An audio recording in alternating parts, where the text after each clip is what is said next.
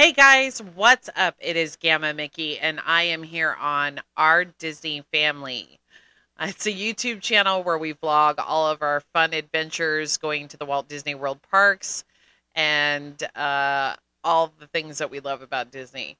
So, this is a new vlog series that I'm starting. It is all about me doing reaction videos to things that I love about Disney that's on the internet. Now, I also have my old vacation series that I had done in May that I still have to finish.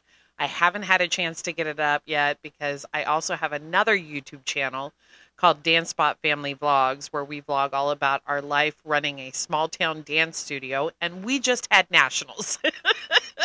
we're national champs. So if you want to check out that series, you can go over to that YouTube channel.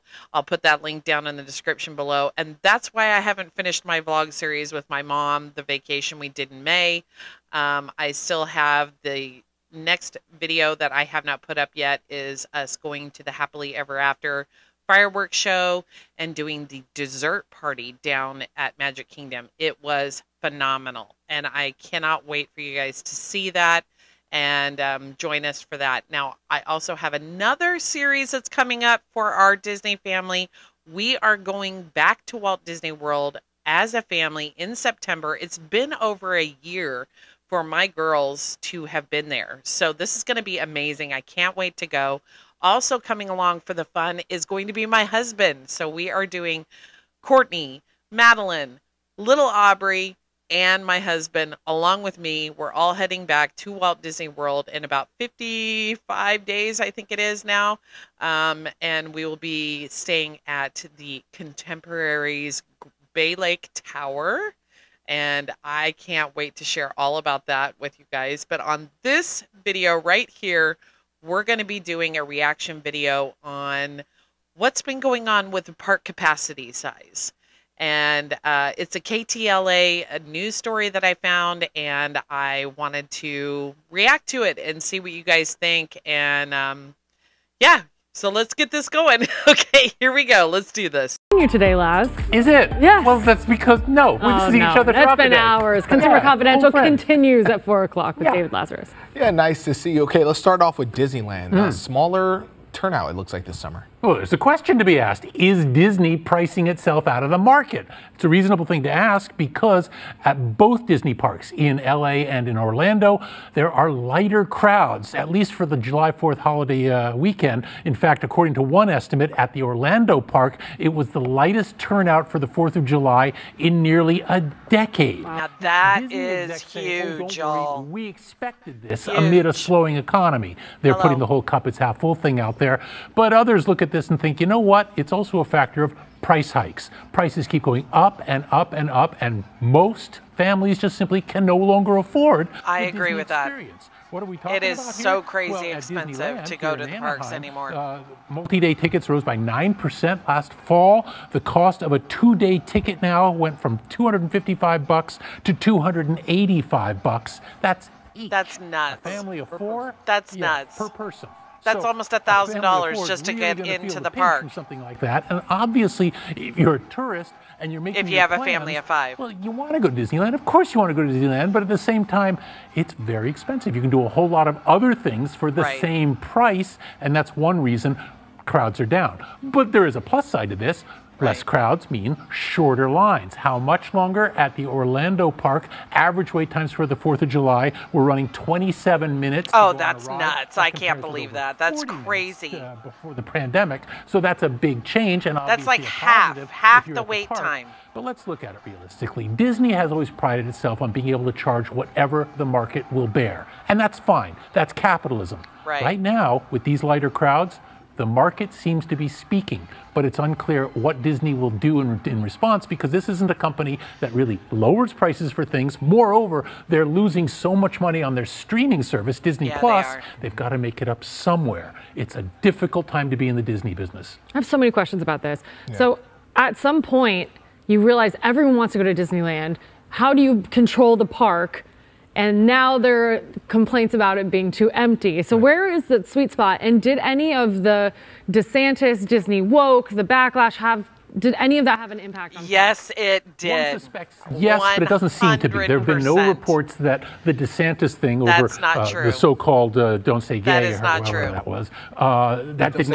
Bill. Absolutely not. Yeah, exactly. I mean, basically, DeSantis is feuding with Disney and vice versa, and that's a thing. But that doesn't that's seem to be over having an effect. something that really doesn't have to do with the bill. That has to do with Reedy And when it comes Creek, to and that's a Disney, that's whole very, very different big thing that has nothing crowds. to do they with the political that if we stuff. raise our prices, That has to do with control the the ownership So of that area that go, that Walt had bought years ago. So the argument over that available to is the just kind of silly. And that's not great. Yeah, I have a lot of questions. I'm going to ask you off camera. uh, but let, us uh, talk about newspapers now. We're seeing All right, cuts so across the country. it on whether you're in. Let me give you my final thoughts. Park capacity is low, and um, I like that.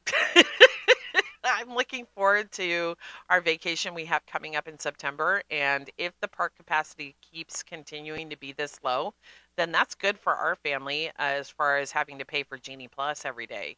Um, if if he's right, and at the Fourth of July time, the ride capacity lines went down from 40 minutes in wait time down to 27. That's almost half, if not more than half, lower in wait times. And a 27 minute wait time in a regular queue is really not that long.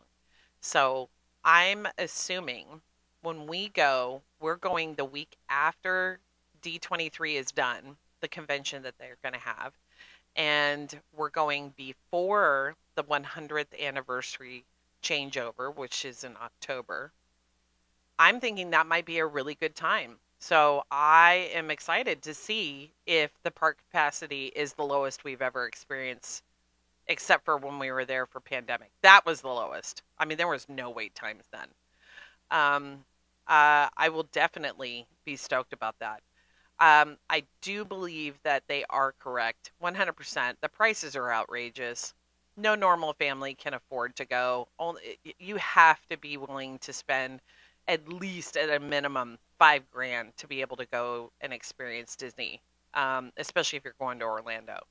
Um, I think that maybe Disneyland is losing a lot of their income because if you're going to spend thousands of dollars, you're not going to go spend it in just two parks. You're going to a trip to Anaheim would be like three, four thousand dollars, and I only get two parks. Whereas if I spend that same kind of money, I'm going to Orlando, I get four parks. Plus, I get, you know, so many resort options. And then I have the Disney Springs. And then if I want, I can hop over to Universal. I mean, there's so many more options in Orlando. That's probably why Disneyland in Anaheim has lost um, as many people coming there to do vacations from out of state.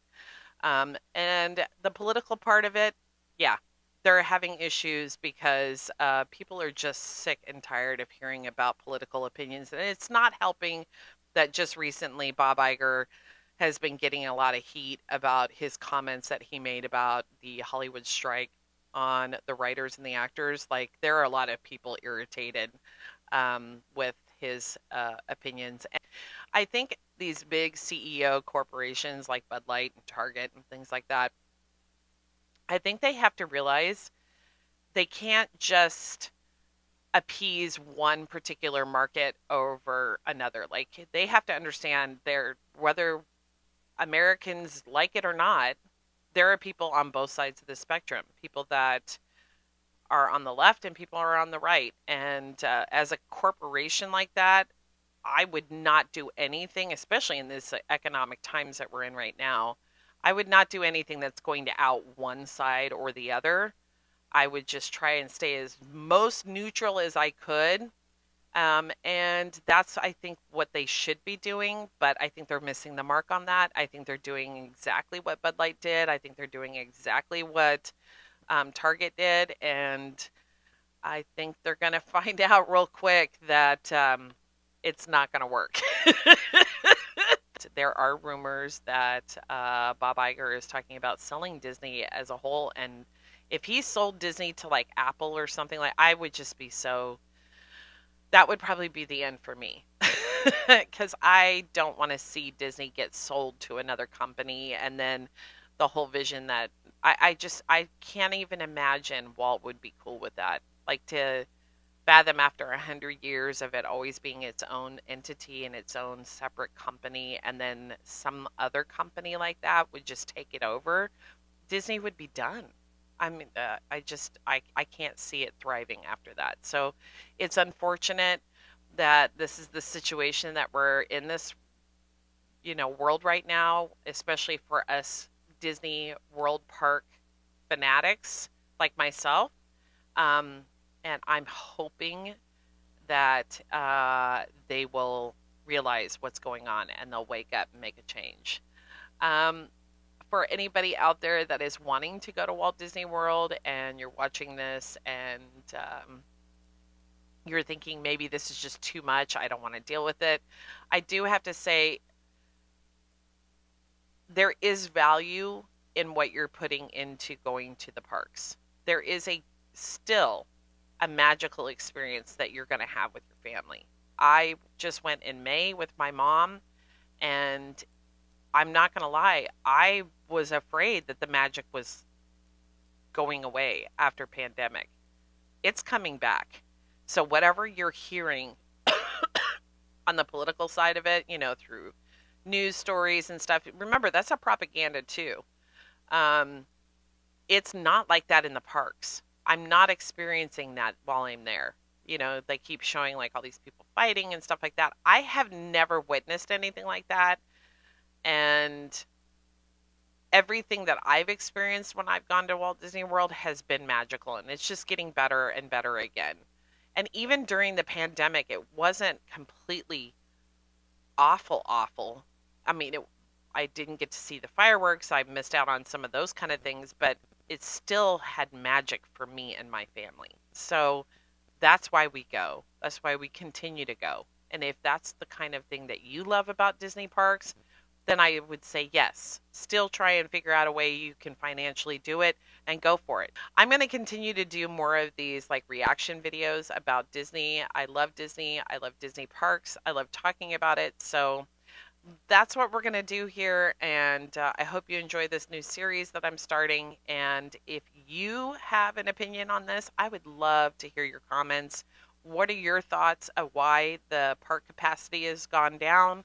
Have you decided not to go because of all this political issues, or is it a financial thing?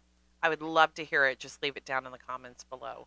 All right, so uh, I guess I will see you in the next reaction video that I'll be posting up soon. And uh, stay tuned for more of our Disney World vlogs that I had done with my mother. Um, I still have two more days that I have not edited and put up. I am so sorry for those of you that have enjoyed watching those. I've just been crazy busy. Our dance studio that we run, uh, we hit our hardest part of our competition season and I have been crazy busy trying to finish up those vlogs. If you want to go watch those experiences with our dance studio, you can head over to our other YouTube channel. And my husband has just started his own reaction video channel where he is reacting to all kinds of stuff. Um, his channel is called The Retired Sailor and you can check out his videos over on his new YouTube channel as well. So I hope you enjoyed this, and I look forward to talking to you in the next one, and I will see you real soon. Okay, bye guys.